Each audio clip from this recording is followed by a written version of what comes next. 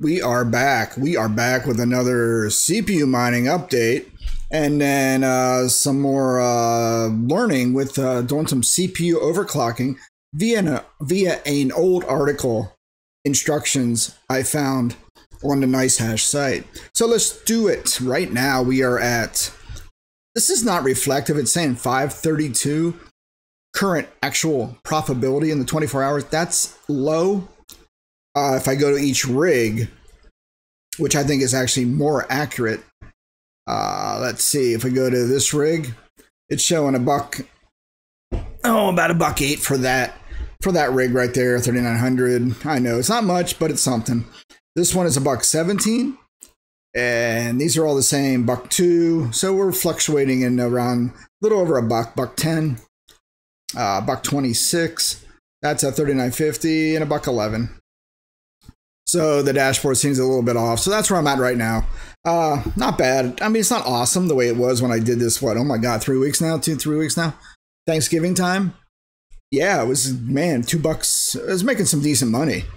I mean, for what it is, right? You are CPU mining, making a couple dollars before electricity cost, exchange fees, and maybe taxes if you if you're going to dump it or exchange it or swap it, whatever.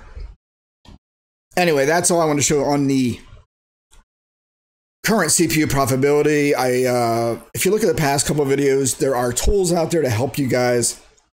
It's almost teaching you how to fish and not giving you a fish. There are uh, the NiceHash CPU profit profitability calculator you can use.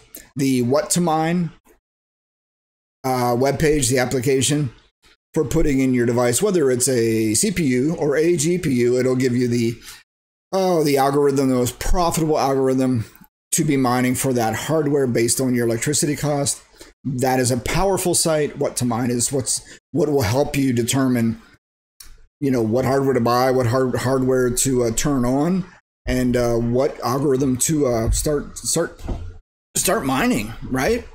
It's good. It's also a good way to get into the ecosystem of crypto mining, whether GPU, ASIC, or CPU mining.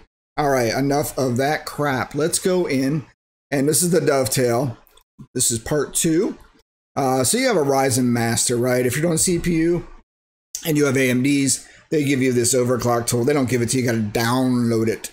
It might be on the CD though. That comes with the CPU when you buy it. I'm not sure. I never read the manuals only till only until I get so frustrated. Then I'll crack open the manual and go, oh, that's obvious. So you can go to the AMD Ryzen master site and go to the support area and you can download this little bastard. It's the Ryzen master uh, overclock tool. And uh, if you're doing GPU stuff, there's a thing called MSI Afterburner. You go to the MSI site and just uh, look for Afterburner, just freaking Google MSI Afterburner. Boom, take you right to it. Download it, and you can start overclocking your GPUs and burn more wattage, or make it more efficient, or crank the fans, or whatever. There's a whole bunch of spreadsheets out there floating around the interwebs uh, about which hardware you have and what is the recommended overclock settings for the algorithm you're going to mine. So back in the day, the OG, it was the Ethermine. And then for a um, 3080 Ti, it had certain overclock settings, power, all that crap. Uh, and you would just set them and then your card would be optimized. People spent time tweaking these things, trying to tune them in and get them right for each uh, each uh, algorithm. So it's useful information if you can find it. I had a spreadsheet. I don't know where it's at right now. It's probably in some Discord but it's out there. You just got to do a little little Mac research, and you will find it. Uh, CPUs had some of it as well, but let's jump into it right away. Let's not make this video too long. It's meant to be informative, give you enough information so that you can take the little information and flush it, or go out and do with it as you will, and maybe learn how to overclock your CPUs and learn more, better yourself, become more tech savvy with this crap.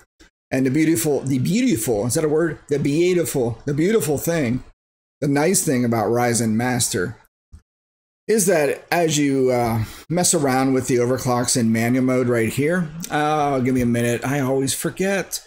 I gotta turn my little pointer on so you can see where I'm pointing.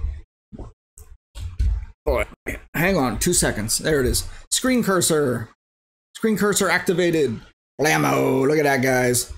Look at that. Look. All right, manual mode. You can set the voltage, you can set the clock speed, you can do an apply and test to make sure these settings do not fry or upset the uh, the force and cause your motherboard and CPU to reboot the machine. It will tell you. It'll say, "Hey, I don't like these profile settings. These settings you just entered and had me apply and test." No, and it'll reset it back to the original settings. So it's a good way to test, and it won't let you run and hurt yourself. So it's basically protecting you from yourself. Some guy come in and just crank this thing up. The thing, you know, they don't have the thing to catch on fire. You know, so they had definitely put in some safeguards. All right. So you get the gist of it. This is your overclock tool for AMD. I think AMD seem to be the best cards right now, the CPUs for CPU mining. Intel's not so much, but I'm sure you can go look on what to mine or um, NiceHash profit profitability calculator and put in an Intel CPU and see what its profits are. Go do it. I'm not going to do it. I don't. I have Intels, but they're not. They're up there gathering dust upstairs right now. Lots of dust bunnies.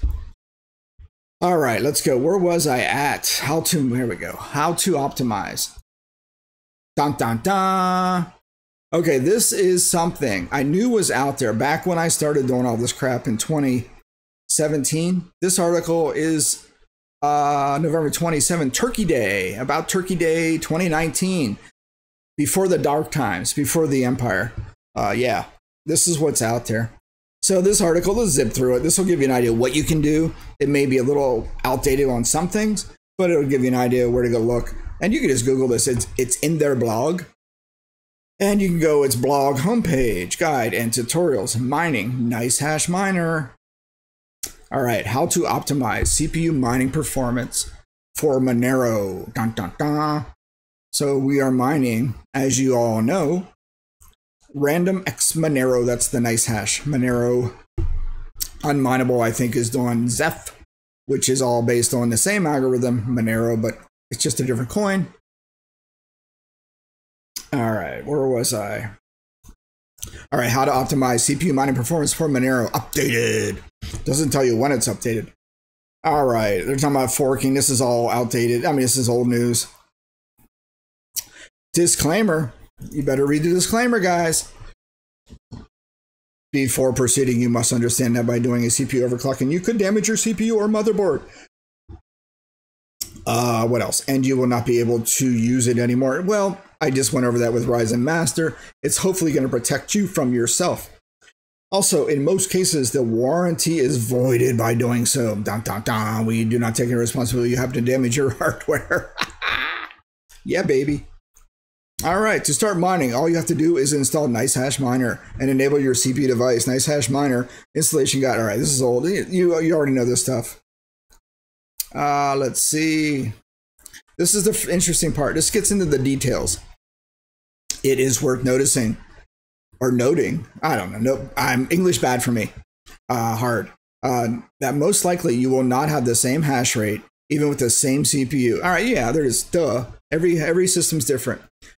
RandomX mining is dependent on RAM frequency and latency.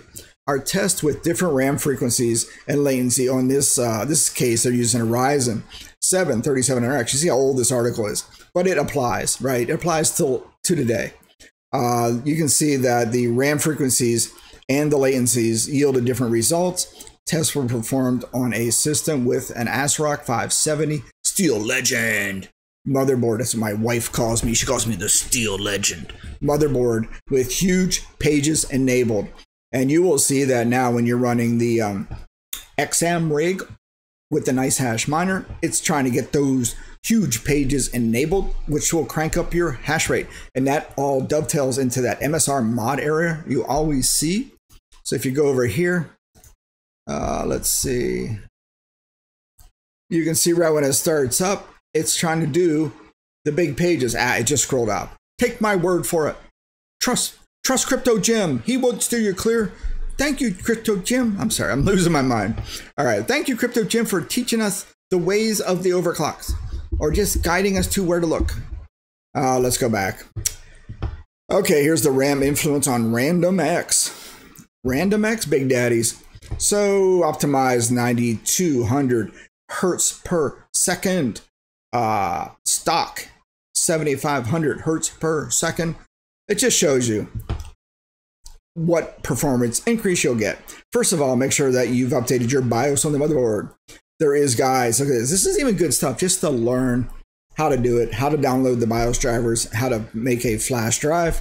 So then when you boot up and go into flash mode on your BIOS, put your memory stick in, pick the version you want, and blam, it just goes and starts flashing the motherboard, and you got the latest and greatest, and all is good with the world. It's not that hard. The only trick is once you're flashing the motherboard, do not kill the power or anything. You will you'll hose it up completely. All right. All right, RAM frequency and timing settings for Monero mining. All right, this goes into some stuff. Note that the setting XMP might not be the most optimal setting. Uh, we suggest RAM frequency to 3200, Infinity Fabric to 1600, and RAM timings to auto. These should be default OC values for every RAM model when mining the RandomX Monero algorithm. So this is all BIOS settings on the this in this case this is what I forget. I am short-term memory Jim. ASRock. This is an ASRock. Oh, it's right there. Duh. This is an ASRock motherboard BIOS screen. Oh, it tells you how to do it. I like I like stuff like this. They give you step by step. Just even they, they don't assume you're a genius. They assume you just haven't done this before and it points you in the right direction. So restart or turn on the system. Repeatedly press the delete. Yeah, you got to hit that delete, and you got to have a video card in your uh, motherboard so you can see the BIOS screen. Otherwise, what are you going to do? It's just going to flash by. You won't. You, you won't even see anything. All right. If you're trying to get a remote or run headless, you need to initially have a motherboard, a motherboard, a GPU graphics card in there, because uh, most of these CPUs don't have integrated graphics so you're not going to be able to boot up and see anything with an HDMI cable plugged into the motherboard. That's the difference there. Oh my gosh. So it goes through setting the Infinity Fabric frequency to 1600. This is for that card. Uh, make sure you set the DRAM timings are set to auto and you want to save and exit. So this is again, this is using a Ryzen 7 3700X, but the idea, the concept, the processes are the same. So right now we're using, D- oh, go back, DDR4. I have DDR4. I think 3600, I can't remember, around there. But this shows you how, look at that, man, this is nice. This is not 20, what year? 2019, keeping it real. Boom. So yeah, let's watch it for a sec. You get an idea. Look at that. Pop, pick the DDR4 3200. All right. Oh boy, now you will need to enable lock pages in memory. This is tricky. If you have Windows 10, this little bastard gpedit.msc is no longer installed with Windows 10. You have to go out and install it. But even when you do, you come up with it. I had no luck doing this, adding the user group, your name, PC name. I have not had any luck. I tried it, lock pages in memory. Um, my name is already in there, the user, but the I couldn't add the PC name. I tried it a couple uh, Windows 10 rigs and no joy. So I don't care. It's fine. Because here's the note that matters. If you want to use a huge page for better mining performance, install XMRig, right, which is what I'm running with NiceHash Miner. It's a plugin. Uh, and then what is this? An HTML XMstract RX only enables huge page. All right. Yeah, they're just saying this is old, but you want to run it as you want to run XMRig as administrator, and then there's also an NHM NiceHash miner, and they have an app, an app. Yeah, it runs to it, and you might get a message up here. Let's go over here real quick under the under the little warning window on your NiceHash miner, and it might say, "Look, it needs administrator privileges for rig management." Uh, let's just go look at something real quick. So it's about buck 24 though. See, this is this is wonky to me. It's bitching, right? About not running as admin. but I'm still getting a buck 24. So let's go back to the notification. Watch this. Let me uh, let me pause. Watch. So 124. Pause that little guy. Go over here. Run as administrator. It restarts. I think.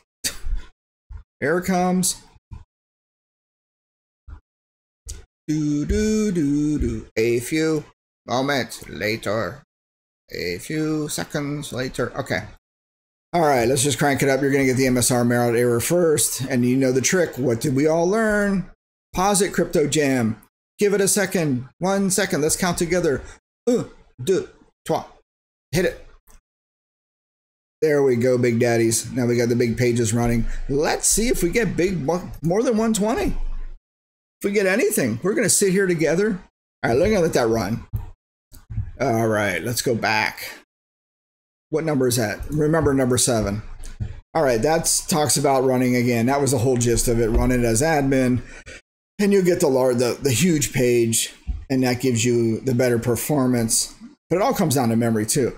I was an idiot. I, I mean, I only had one stick, one channel loaded with DDR4 memory because they were just um, they were just play rigs. I wasn't really optimizing them. People made a great comment. Hey, put put two channels in there, two sticks did that. Holy crap. Performance spiked. It was awesome. Memory is key with this stuff. All right, let's go down. Here's the Ryzen 7 3700X. All right, so 2 gig, 8 gigabytes, 3200 megahertz um, memory. So we got, yeah, here's the huge page difference. Huge page off, you're getting that hash rate. Hash per second, huge page on, uh, 92 so what, 30% more if that? Not too shabby. Next thing is to download AMD Ryzen Master. Oh, look, they even give you the link.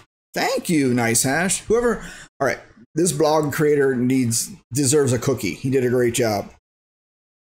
He actually puts links in when he's referencing stuff. And this, uh, this way you don't have to go digging for stuff. Here it is, boom. Well, let's hit it once.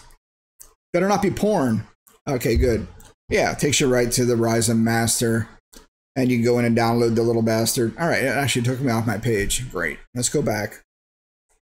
Oh my god. Marco Talman. Oh, Marco, you did a great job. I don't know if he, I don't think he's Italian. He looks a little swarthy. Maybe he's not Italian. Who knows? Oh, where are we at? Where are we at, Big Daddies? All right, we're back here. This shows the improved speed with the huge page stuff. Again, this is great for learning and understanding why things are the way they are based on the huge page uh, settings and running as system admin in XMRig and memory. All right, you download the AMD Ryzen Master. This is an overclocking tool that allows you to change CPU core speed and lower or increase voltage.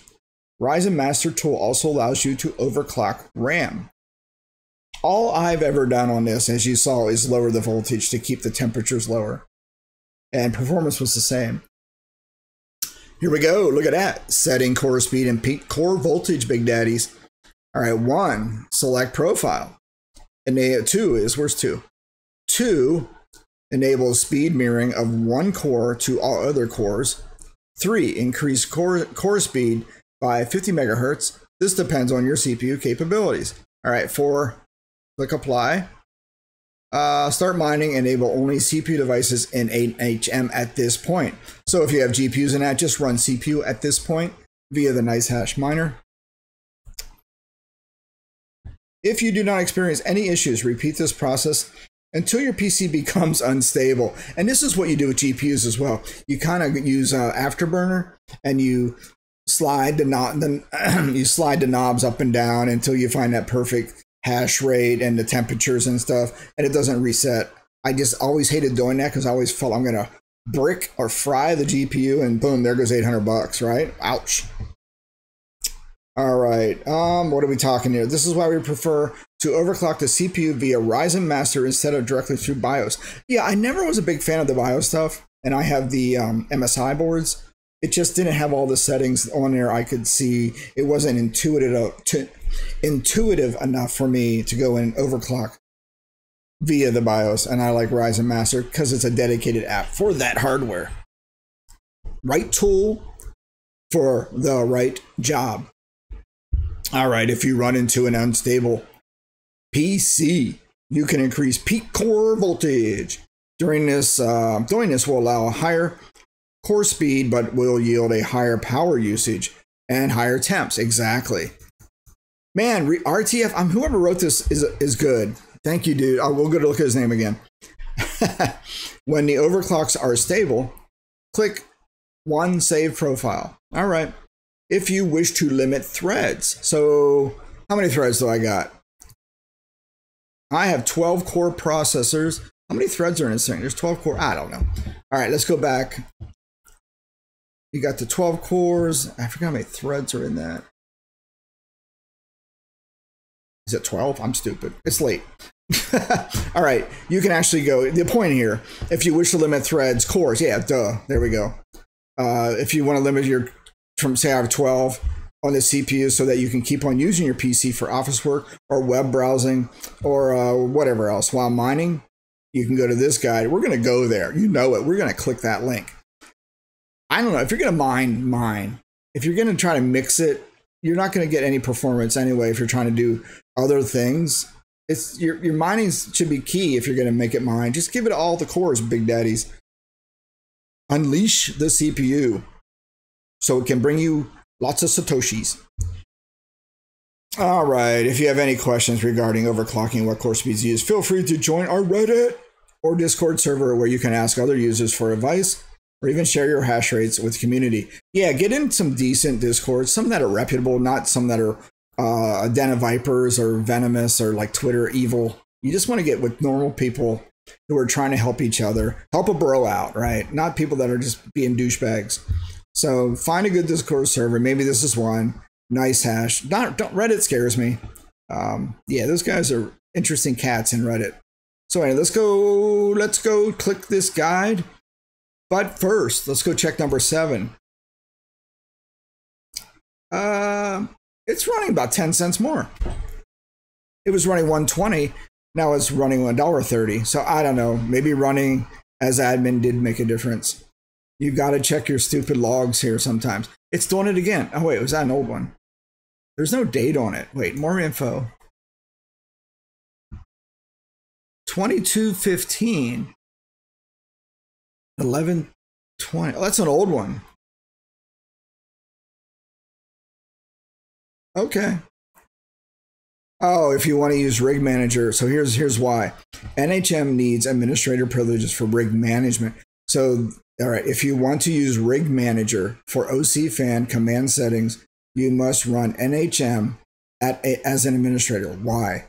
Because when you go over here, say I'm on this rig right here, Big Daddies. Whoops. Come on. You can go here and you can get in here and do commands benchmarking, and that goes over to your rig. And that this enabling the running as admin on the rig allows these commands from the uh, NiceHash desktop dashboard to send the commands down and actually command and control your rig. There you go. We learned something together. All right. Let's click on this guide. I'm curious. This is the limit the thread guide. All right. Let's see if it does anything. Ah, ooh. Oh, it's new. They updated it. June 29, 2023. A good year. All right, in this blog post, we will show you how to limit your CPU threads when mining. This will allow you to continue to use your PC without lagging while mining. Eh, I, I just mine, man. Don't, you know, you can't mix, you can't hybrid it. It's not going to be, it's going to, it's to hurt both. You know, mine for a couple hours, and when you want to work, work, turn the mining off. All right, what are your CPU threads and how are they different to CPU cores? The short answer is that CPU threads deliver work to the CPU cores. The cores are like factories, and the threads are the workers. I don't know. Yeah. Uh, only cores are the actual hardware, while threads are more like virtual components that manages the task. Yeah, it's just software threads. In Linux or Unix, we had a thing called green threads, and you just depending on how many CPUs that you had on your workstation, duh, the cores, you can uh, multi, uh, whatever, spawn up to this many threads to make the system uh, very performant. Normally, the core versus thread ratio is one to two. In modern CPUs, we can find two threads for each core. Look, I'm learning something. I, I kind of knew this stuff in the software, but when you talk about hardware, it's like, oh, this makes sense. When you launch NHM and start CPU mining, the program will use all of the threads available. In order for you to limit the intensity of the mining program, we need to limit the threads that will be used for mining. right. We will use a Ryzen 3700. The miner will set the most optimal configuration based on CPU specs. All right. 16 in our case. If we want to limit the CPU to 50%, we only want to use eight threads and four cores. So it's an eight core 16. They want to go halfies. Uh, halfies will be eight threads, four cores. Here's XMRig. Oh, that's that's right. You can do it in the command line. In advanced mode, you set the extra parameters. And if you're doing a batch script, you can do it also in the command line on the batch. Let me just put this argument dash dash threads equals n. I'm not going to do it. I don't see a point in doing it. Just mine. Oh, this is just more stuff. That oh, that's okay. We already know this stuff, guys. If you watch my videos, we went over using Oh, NiceHash miner, but with XMRig. All right, and there you go. That is all I wanted to go over. Just a little resource out there, what overclocking is. You can get the Ryzen Master. You can play around if you want to learn more. A uh, great way to, just a great way to get into the environment, the hardware, understand what affects things, the memory, the threads, the cores, all that good stuff. Running with huge pages on, all that all ties together and uh, basically affects your hash rate. And then you kind of understand how does it affect the hash rate per algorithm because each algorithm may require different overclock settings. It just never ends. Anyway, there is spreadsheets out there. I should find one. If I find one, I'll post one. Uh, and then you can play around and have fun with it. But go forth, do great things. Let me know what you're mining. Let me know if you're you're having fun with it or you're making any money. Uh, what hardware do you guys buying? Are you buying hardware? Are you using old hardware like me? Uh, I'm cheap. I'm not buying anything because, again, this is just for fun, and I don't want to go into debt with a bunch of hardware that may uh, become unprofitable, and I won't get my ROI, and it'll just sit, be sitting there gathering dust. And if I go to eBay and sell it, then I got to pay 14%. There's a whole life cycle to this whole mining operation. Hey, if you're doing GPU mining, let me know. I want to know how that's going for you as well. All right, guys, thanks for watching. Uh, we kept it at, oh, under 30 minutes this time. All right. I hope this was helpful. Uh, if you find any better articles in it for uh, overclocking CPUs, please post it. But Ryzen Master is the uh, great starting point and this blog post. So go forth, learn. That's what it's all about. Better yourselves, and uh, we'll we'll uh, we'll talk to you next time.